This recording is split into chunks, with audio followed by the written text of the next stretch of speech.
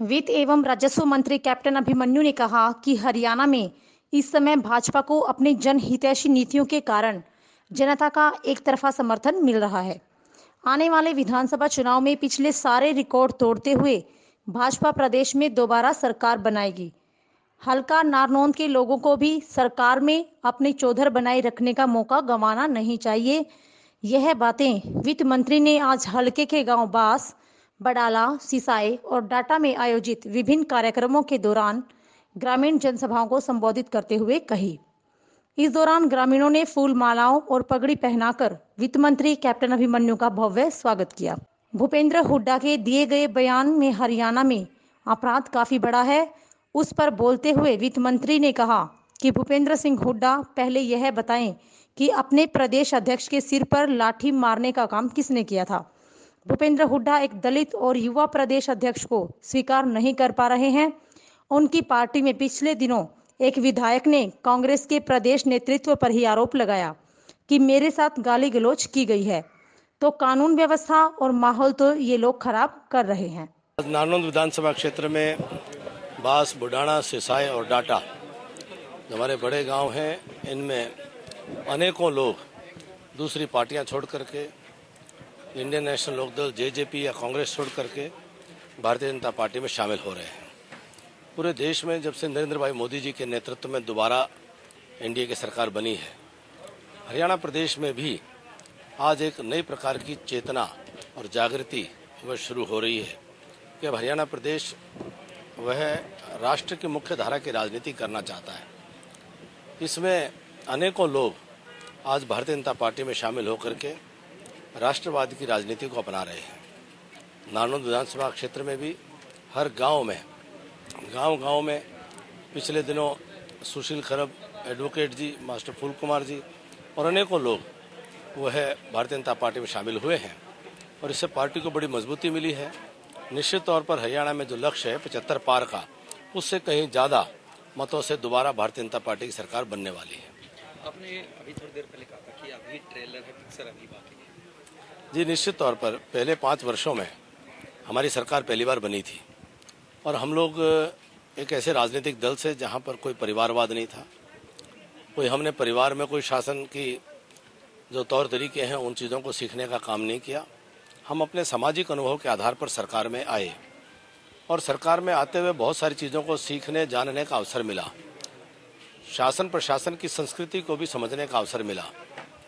किस प्रकार से नीतियाँ बनाई जाती हैं, कानून बनाए जाते हैं, वह भी जानने का अवसर मिला।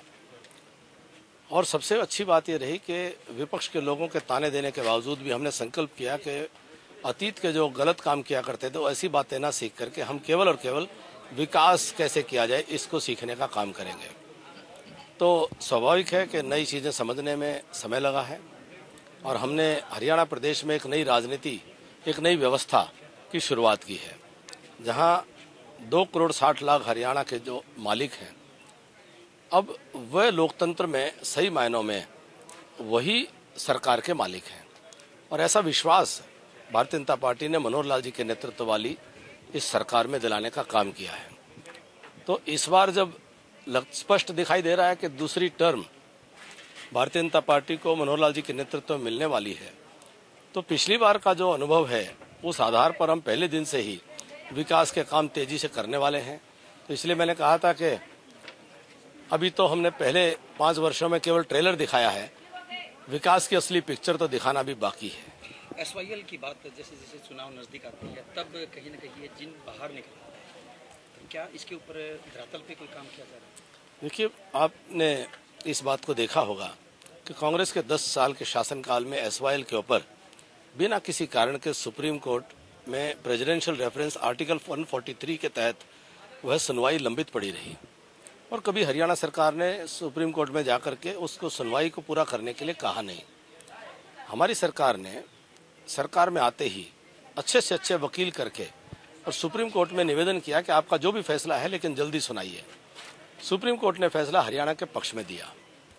और उसके बाद जिस प्रकार से पंजाब और उसमें वातावरण बना उसके बावजूद हमने सुप्रीम कोर्ट में कहा कि अब आपका फैसला आ गया है, आप इस फैसले को तामील करवाइए। तो एग्जीक्यूशन पटिशन जो है वो हमने डाली। अब उस एग्जीक्यूशन पटिशन पे सुप्रीम कोर्ट ने एक सलाह दी है कि एक बार हरियाणा, पंजाब और केंद्र मिलकर के इस पर विचार कर लें। नहीं तो सुप्रीम कोर्ट जो है वो अपने तरीके से इसको तामील करवाएगा।